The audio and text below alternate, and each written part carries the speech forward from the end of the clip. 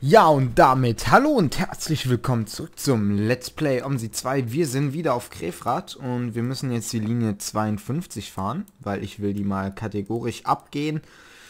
Ähm, leider diesmal alleine, weil Xasa irgendwie keine Zeit findet. Ich habe zwar die ganze Zeit mit dem MTS gesprochen, aber der muss noch Bewerbungen schreiben. Äh, Umlaufnummer. Da wählen wir doch lieber erstmal den Umlauf aus. Wir fahren im Stadtzentrum und fahren gleich die 52 von Wilhelmplatz nach Bülsberg um 6.35 Uhr. Äh, Umlauf 1. Ja. In 26 Minuten. Ähm,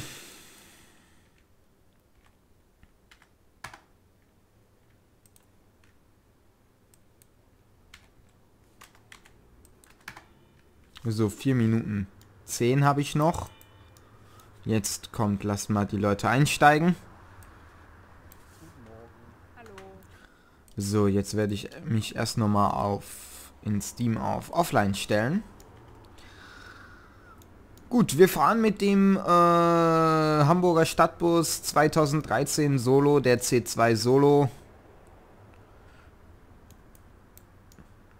Ein richtig schönes Modell, finde ich.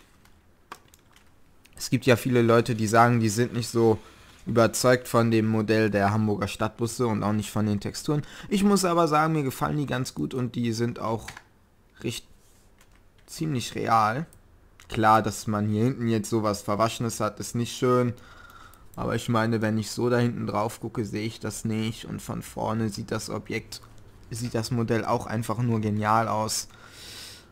Ähm, Vielleicht kommt da ja noch ein HD-Texturen-Update oder was. Sowas kann man ja nie wissen, ne? Und jetzt schließen wir mal die vordere Tür. Machen die Pfeile hier noch an. Und dann würde ich sagen... Ach, den Motor habe ich noch gar nicht angemacht. Gut.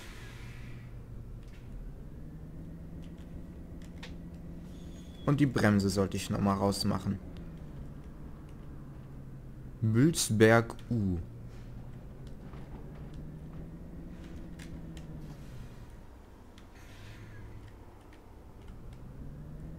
Okay, die Ampel meldet uns nicht an. Okay, jetzt wären wir angemeldet. Interessant.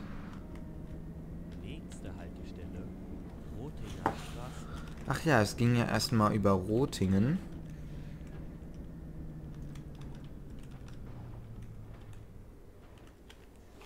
Wir nochmal, wo wir heute so alles hinkommen.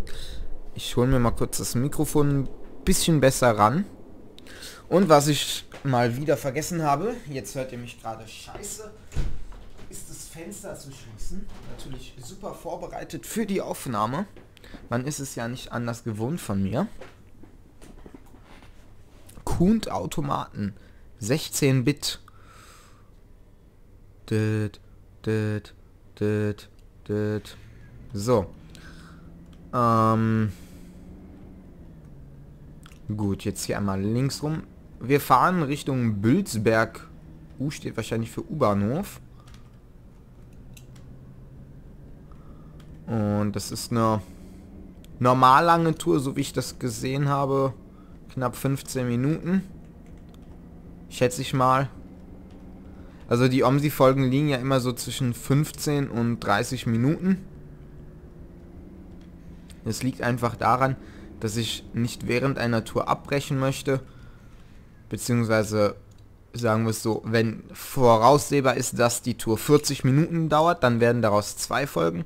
Aber ich möchte nicht kurz von Linienende oder so abbrechen.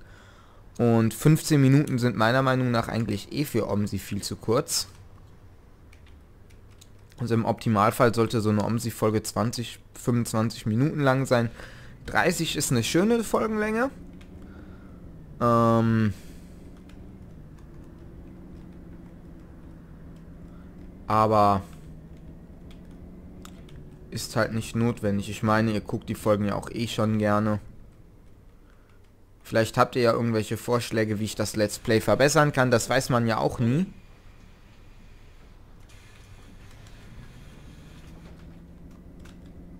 So.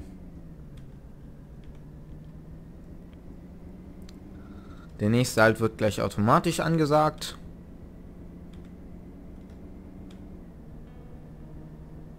Nächste Haltestelle Rheinbrücke. Also Bolzberg Ü. Ich habe aber das Gefühl, dass die Linie mir, ähm, dass die Map sogar äh, liniendefinierte Benutzerpfeile anzeigt. Wo ich zugeben muss, dass das leider ziemlich wenig Maps machen. Kreuzteil aktuell im Moment auch noch nicht. Äh, das ist so eine Sache, die werde ich noch einbauen. Aber das ist halt ziemlich weit hinten auf der Prioritätenliste.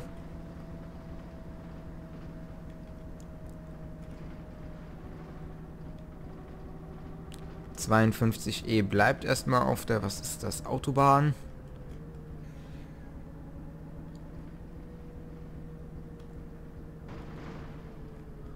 So, jetzt ist es nur noch eine Hauptstraße.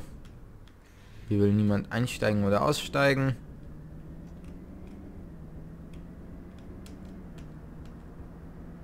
Gut, nächste Haltestelle bitte.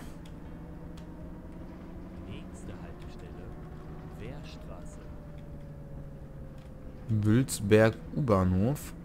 Also ab der nächsten Haltestelle werde ich wahrscheinlich mal mit der... Ne, ich werde jetzt einfach diese Folge noch mit äh, Maus, mit Tastatursteuerung machen. Und ich werde demnächst auch wohl mal mit Lenkrad fahren. Ich habe ja eins. Wobei mein... Der Punkt, warum ich bisher so wenig mit Lenkrad fahre, ist einfach... Mich stören diese ganzen Geräusche dadurch weil das Lenkrad quietscht und all sowas und ähm, warum ziehst du so langsam an mir vorbei? Hallo.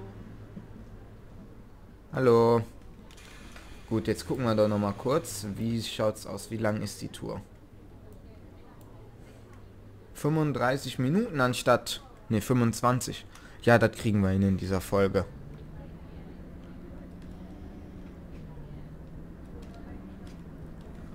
Das kriegen wir durchaus hin. Bülzberg, uh, hier steht ein schöner Solaris. Naja, schön. Ist wohl ein bisschen falsch gesagt.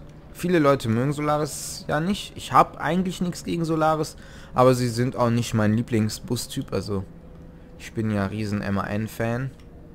Wer es vielleicht noch nicht mitbekommen hat. MAN und Mercedes-Benz.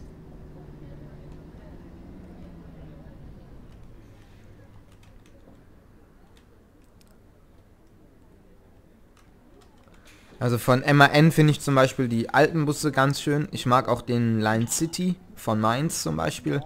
Aber so vor allem der NL 202 und sowas ist ein richtig schönes altes Teil.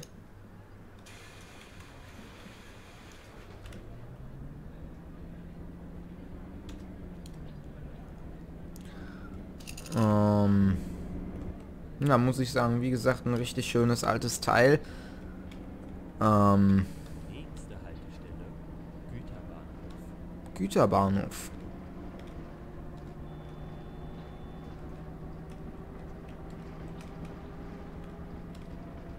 Gerade etwas blöd, dass es, dass ich nur 19 FPS habe. Dadurch kann ich nicht so ähm, flüssig spielen. Weil was man wirklich bei OMSI merkt, sind, je höher die FPS, umso einfacher das Gameplay was sage ich, Gameplay. Umso einfacher ist der Bus zu fahren und, so und umso schöner lässt er sich steuern.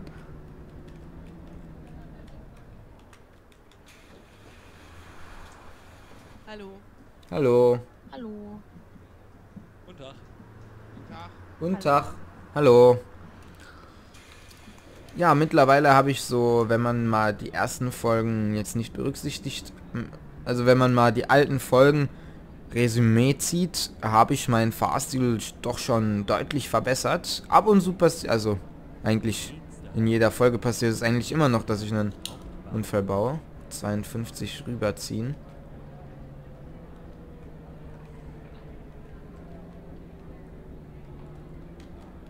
Wir sind am Hauptbahnhof.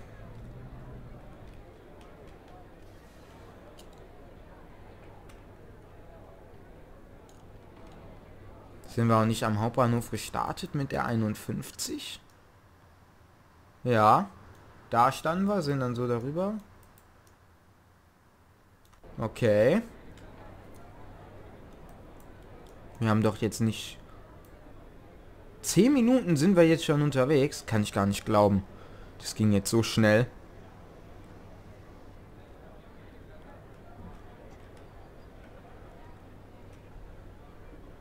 Die 53 rechts mit dem Solaris.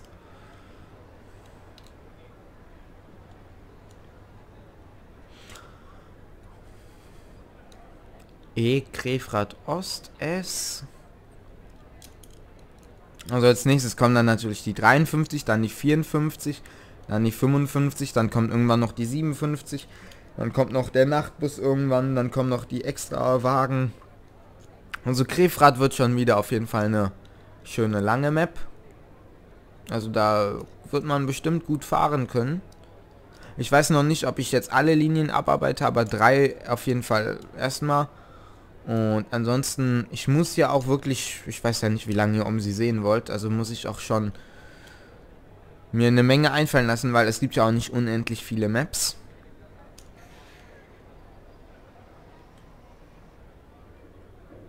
Komm schon. Floras Blumen, Blümchenladen. 13 FPS im Moment. Wow. Omsi, why are you doing this?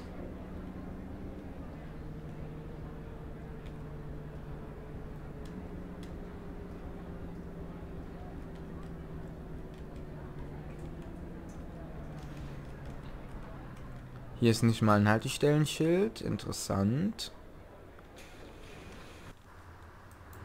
Und habe ich das da gerade richtig gesehen?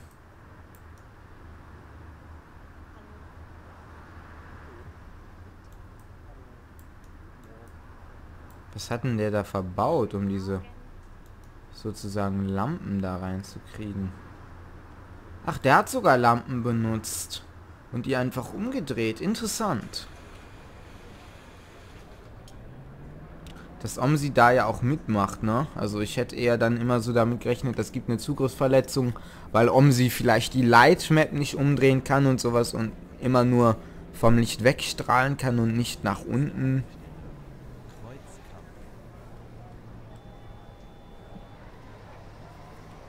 Komm, wir müssen uns da einordnen.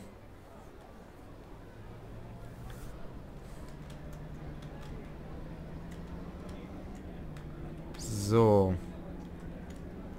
Gut, jetzt nach rechts.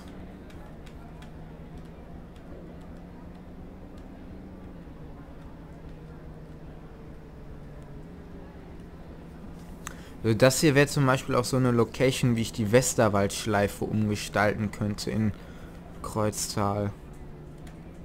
Muss ich mir mal was überlegen für.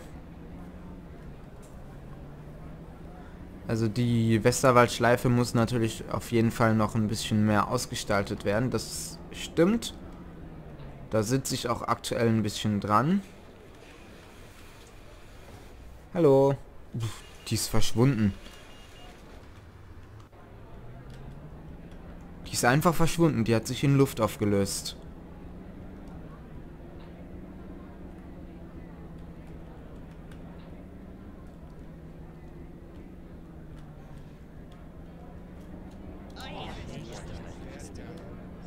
Das erste Mal beschwert auf der gesamten Strecke. Gut. Werdauerweg. Wir haben bisher auch noch keinen Unfall gebaut, wo ich sehr stolz drauf bin.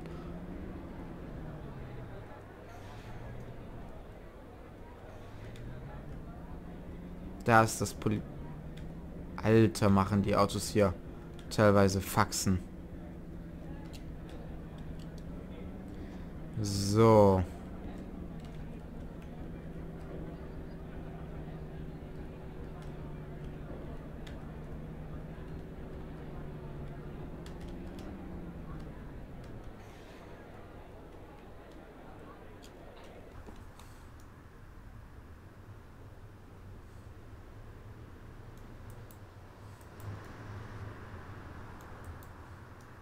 Hm.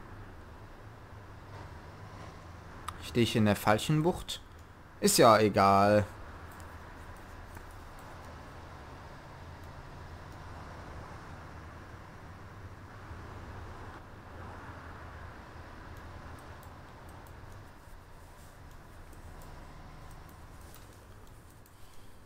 Die Kreuzung kennen wir ja noch von Roting. Oh, wir haben grün. Schnell rüber. Oh, ich höre Feuerwehr.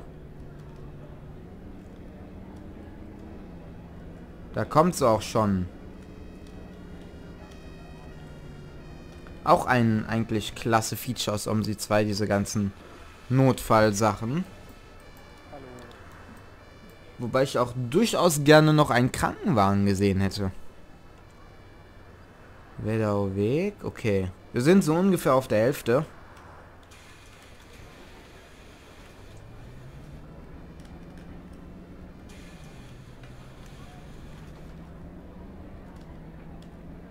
So. Ich hoffe, dass sich die FPS gleich wieder verbessern, wenn wir Haltestelle.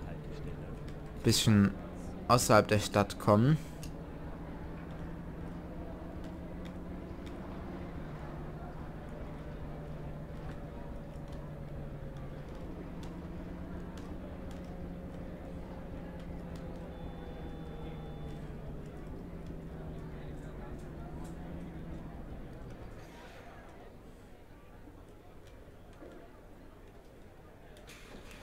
So, Guten Morgen.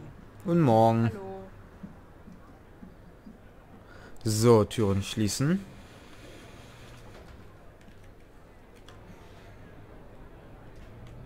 So. Ah, da sind schon wieder zwei Solaris.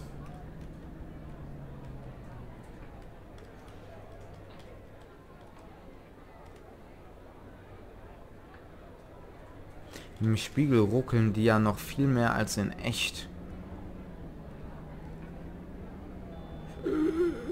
Immer noch kein Unfall. Mann, bin ich heute gut drauf. Nächste Haltestelle. Regattabahn. Regattabahn.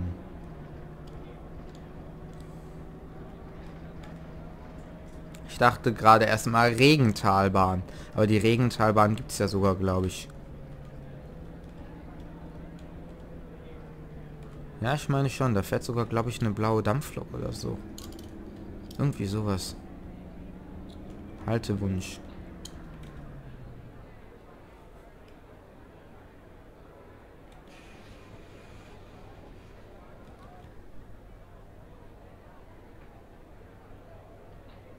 Alles ausgestiegen, gut. Weiter geht's.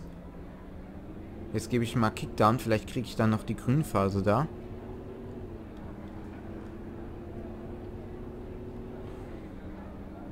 Nächste Haltestelle. Wedau Bahnhof. Wedau Bahnhof. Ein Hubbel.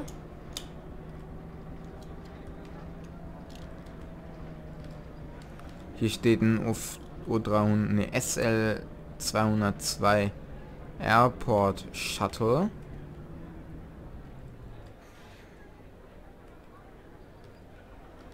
Oh, hinten sitzt ein Kind, wie man gerade sieht.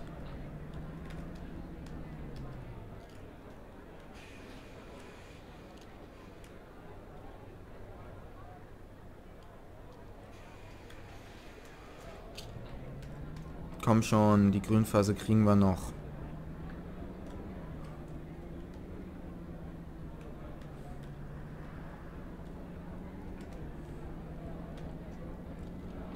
So, das hätten wir. Jetzt wieder ein Haltewunsch. Amtsgericht. Amtsgericht. Da arbeitet wahrscheinlich der Lextron. Der macht ja was mit Rechtsanwalt Gilf und sowas. Was sitzen die am Amtsgericht? Nee.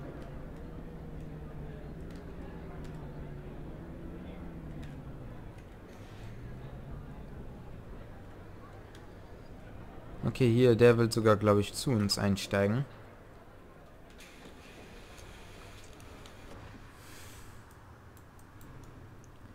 So, wir müssen auch mal einen Folgen-Screenshot machen, was mir gerade so einfällt.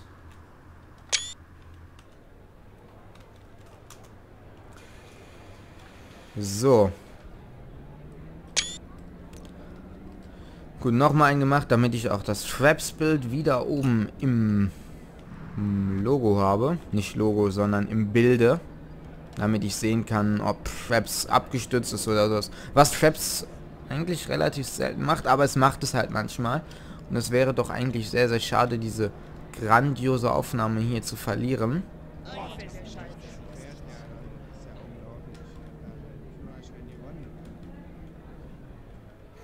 Bahnstraße.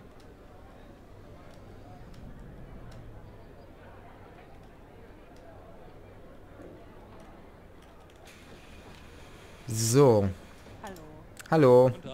Die Omi ist diesmal aus dem Nichts gekommen. Beim letzten Mal ist sie ins Nichts verschwunden. Oh, ja, komm du halt auch noch. Ich glaube, ich sehe Geister.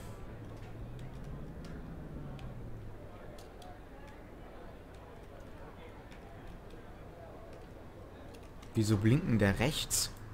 Geht's da rechts auch noch weiter? Ja, cool. Auch cooler Schulplatz oder so, ne? Auch irgendwie nice. Kann ich mich dann noch einordnen?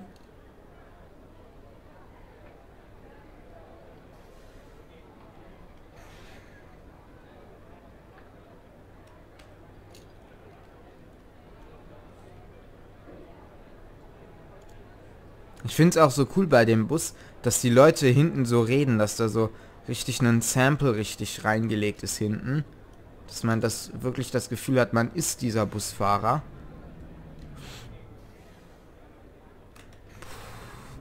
Unfall. Der war aber nicht so groß, als dass die Leute sich beschwert hätten. Ich wollte mich da einfach nur reindrängeln. Hättest du das nicht abwarten können? Ich glaube, ich werde an der nächsten Haltestelle trotzdem mal kurz die Polizei rufen.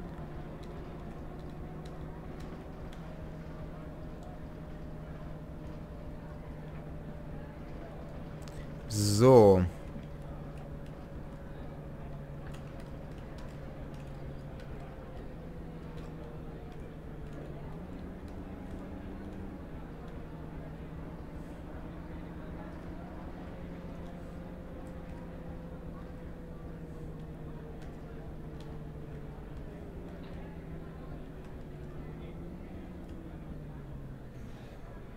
So. Gut, wie gesagt, da ist schon wieder einer aus dem Nichts aufgetaucht. Drei Minuten. Huh? Der ist wieder rausgegangen. Der hat bestimmt ein Ticket im Vorverkauf gekauft. Na, also der muss eigentlich erst um 12, um 12 Uhr mit dem Bus fahren und hat jetzt um 7 Uhr schon mal das Ticket vorgekauft, ne? So läuft das ja meistens in so Bussen. Also ma mache ich auch jeden Tag, ne? Also eigentlich habe ich ja ein Monatsticket, demnach kaufe ich eigentlich gar keine Tickets mehr. Das hier ist auch cool gemacht. Also Grefrath ist wirklich innovativ. Muss ich den Erstellern mal lassen. Vielleicht mache ich so ein Award. Die beste und innovativste Map in OMSI 2.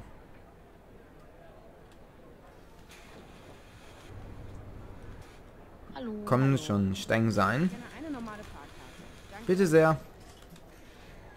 Die ist auch wieder rausgegangen.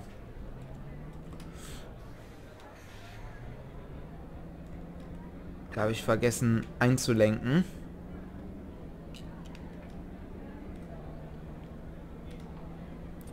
And it all started with a Haltestelle Am Winkel. Gibt's die nicht auch in Berlin?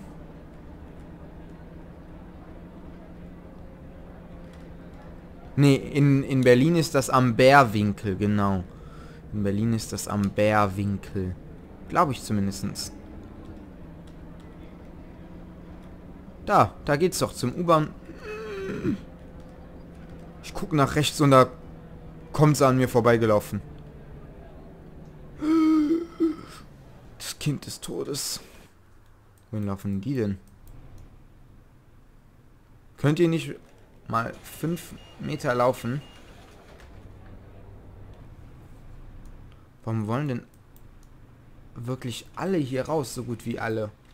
Sind wir nur noch so weit...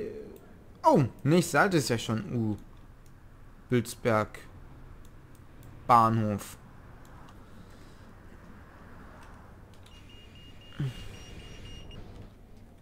So, ich werde jetzt noch mal kurz versuchen, die hier auch noch reinzulassen. So.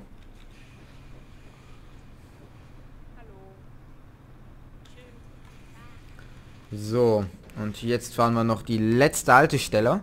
Das heißt, wir sind jetzt schon so gut wie am Ende der Tour. Als nächstes muss ich dann gucken, was dann eigentlich die nächste Linie ist. Weil das wird mir das Ibis ja gleich bestimmt verraten.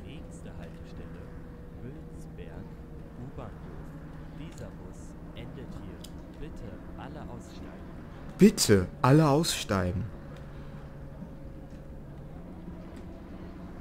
Auch cool gemacht hier.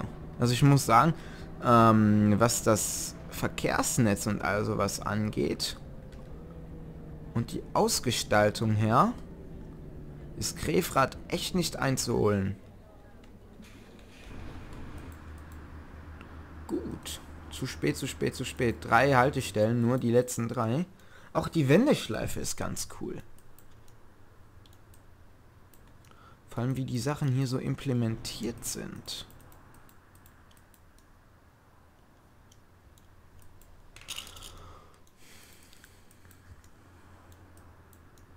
Auf das Hauskonstrukt bin ich auch noch nicht gekommen.